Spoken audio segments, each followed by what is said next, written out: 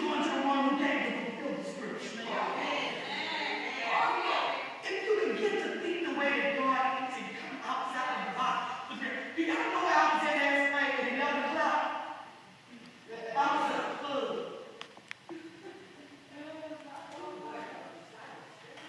Let me tell you, I was in a club.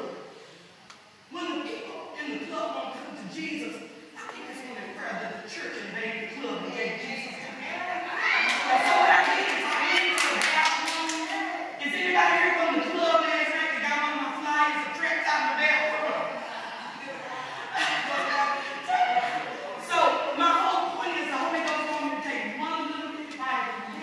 He gave me what to read. I mean, what to put in there so that when they're sitting on the floor, jail, God can deliver them from that crowd.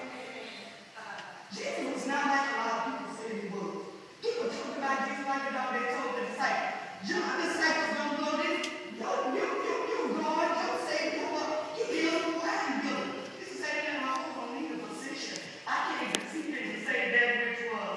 saying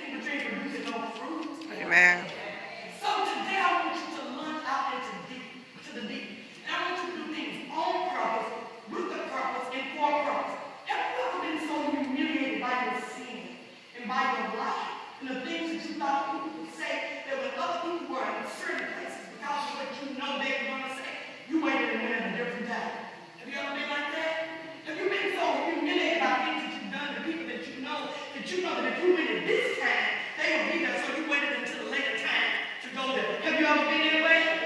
I couldn't you all about a lady who was so old. This woman looked out and she didn't wait like a woman who she was little for 12 years. She didn't lay wait with the man that kept young for 38 years. He didn't, she didn't wait like the man who had been sick for years and a poor man had to put him down but immediately, when Jesus did what he did in her life, she launched out into the meeting. So what does it mean to launch out into the meeting? when we finish and start reading the scriptures? If you